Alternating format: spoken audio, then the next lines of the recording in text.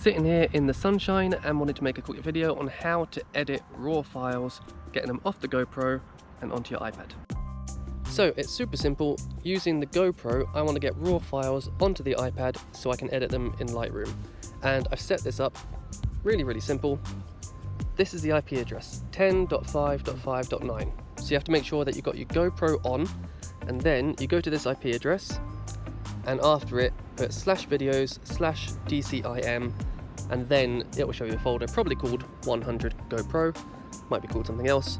But if you go to the video slash DCIM, you will get to the right place. So this opens as a web page and then you can see you have got all your photos there. So I've just taken one here.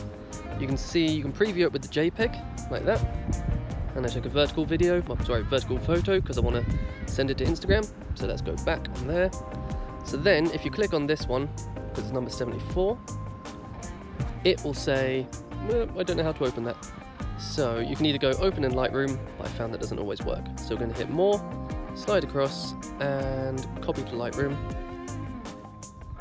Shows importing, and then you've got it in there. And then you can do all your edits, and it's a raw file. Obviously, need to turn it around, but that's it, simple as that. And then you can export it and send it to whatever app you want. There we go, much better.